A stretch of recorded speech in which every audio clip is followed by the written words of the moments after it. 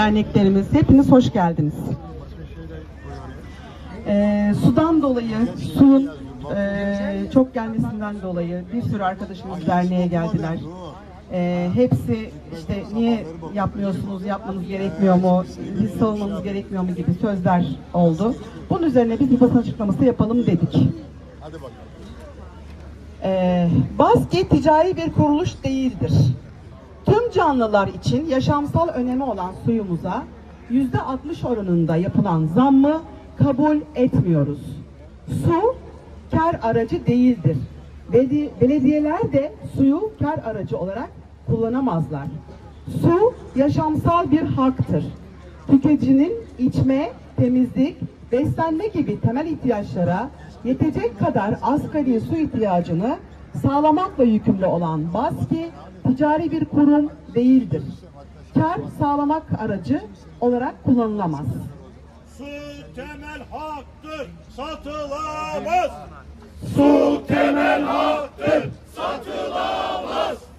Su temel haktır, satılamaz.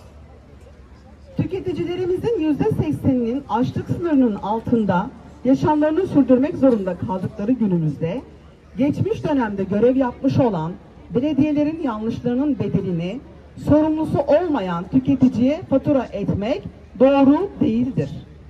Büyükşehir Belediyesi yapmış olduğu faiz zamlar ile tüketicilerimizi cezalandırıyor.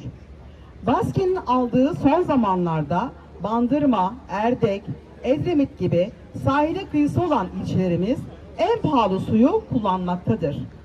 Faturalara tüketimin yarısı kadar atık su bedeli, çevre temizlik vergisi, sayaç okuma bedeli gibi ek ücretlendirmelerin yanı sıra KDV'ler de eklenince tüketicilerimizin karşısına yüzde yüze yakın fatura ödemeleri çıkmaktadır. Kar için değil, yaşam için su. kar için değil, yaşam için su. Kar için değil, yaşam için su. Büyükşehir Belediyesi sınırları içinde en pahalı suyu kullanan ilçelerden biriyiz. Yapılan faiz su zammı geri alınarak tüm ilçelerimize ortak tarifeye geçirmelidir.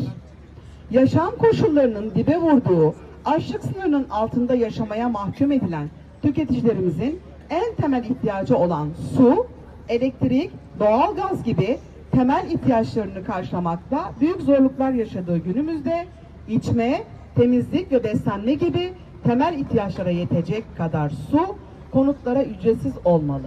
Veya kullanılan suyun bir ailenin asgari ihtiyaçlarını karşılayacak miktardan sonrası ücretlendirmelidir. Suya yapılan zamlar ile hukuksuz olarak alınan tüketim harici müftelif kalemlerden vazgeçilmelidir. Büyükşehir sınırları içinde tüm ilçelerde ortak su ve toplu taşıma tarifesine geçilmelidir.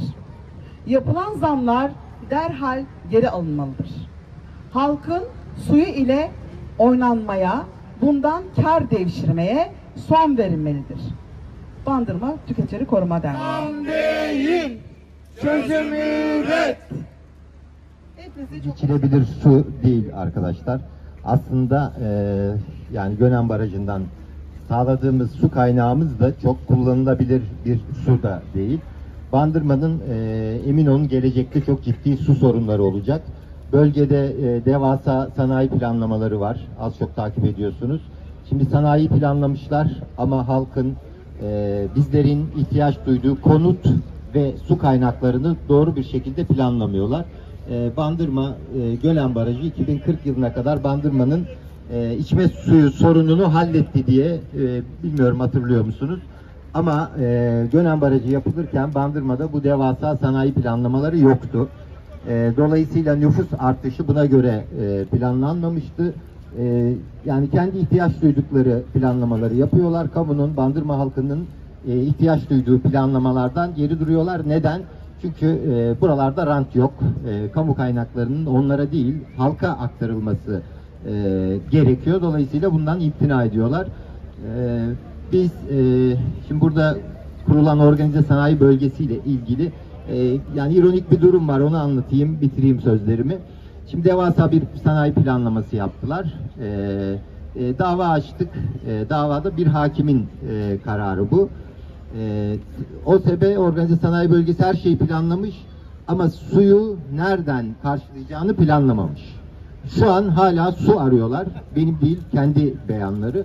Gerçekten çok ironik. Bandırma'nın geleceği açısından çok ciddi. Sadece su değil, e, yani barınma ihtiyacımız az çok yaşıyoruz. Birçok temel e, ihtiyacımızla ilgili e, sorun yaşıyoruz. Tüm bunlara karşı evet mücadeleye ve duyarlılığa davet ediyoruz herkesi. Olun.